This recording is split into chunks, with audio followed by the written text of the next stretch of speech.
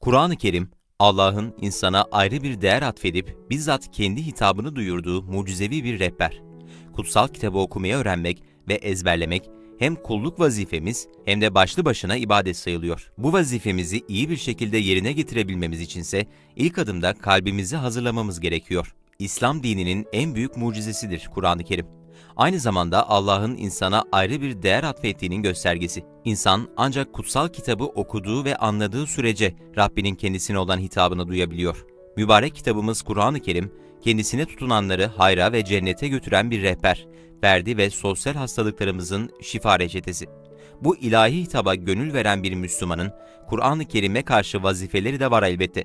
Onu öğrenmek, okumak, anlamak, yaşamak ve yaşatmak bir kulluk borcu. Lübnanlı bir genç kız Kur'an'ın üzerine çıktı. Musaf'la dalga geçip onu yırttı. Bakın Allah'ın cezası nasıl oldu. 20'li yaşlarında Lübnanlı bir genç kız daima Müslüman arkadaşlarıyla dalga geçiyor, yeniden dirilişin ve hesaba çekilmenin olmayacağını söylüyor, kıyametin insanlar tarafından uydurulmuş bir senaryo olduğunu öne sürüyordu.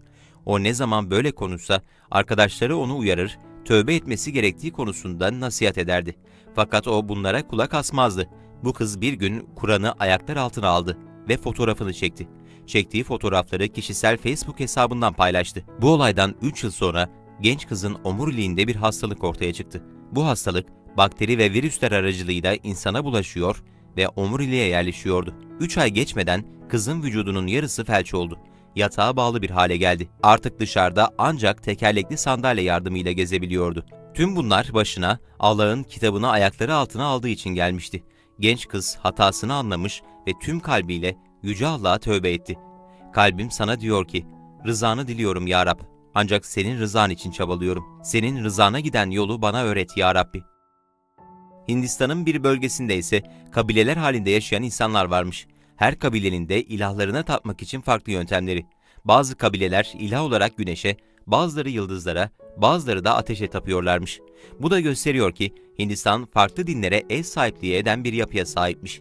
Öyle ki 3000'den fazla din olduğu söyleniyor. Günlerden bir gün Müslüman bir adam orada insanları İslam'a davet ederken ateşe tapan, onu ilah edinen genç kızlardan biriyle karşılaşmış ve ona İslam'ın doğru din olduğunu anlatmış. Ardından da ona Hintçe tercüme edilmiş bir musaf hediye etmiş. Kız gerçekten adamın hediyesini geri çevirmemiş ve Musaf'ı almış.